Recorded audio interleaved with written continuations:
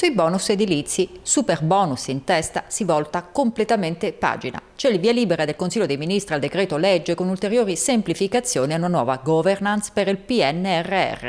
Per i nuovi interventi non sarà più possibile ricorrere alla cessione del credito allo sconto in fattura.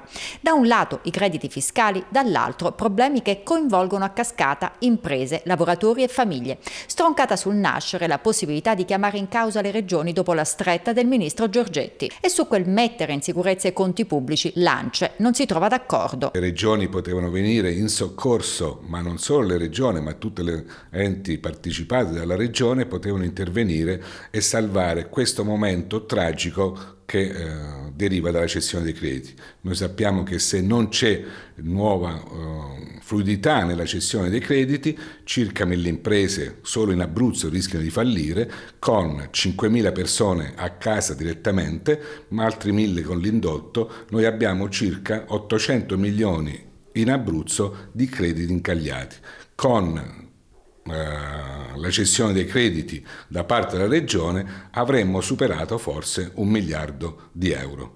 Il nuovo decreto dovrebbe facilitare la cessione dei crediti. Chi li compra sarà responsabile solo in caso di dolo mettere a puntino che chi ha ricomprato i crediti, se ha usato la giusta diligenza, non ne è responsabile, significa voler forse far ripartire la cessione dei crediti. Si è parlato anche di una produzione esagerata di normative che ha eh, in gran parte scoraggiato eh, la firma per l'acquisizione di questi crediti.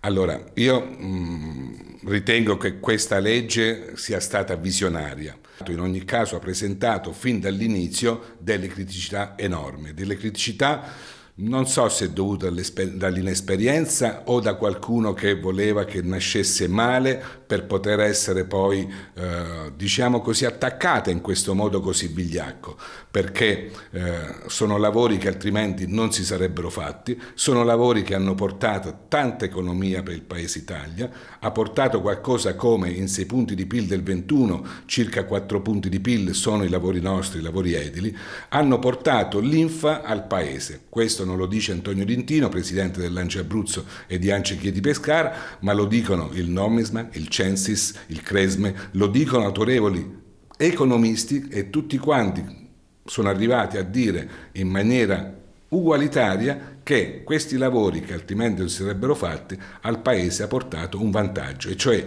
speso 10 se ne incassava 11.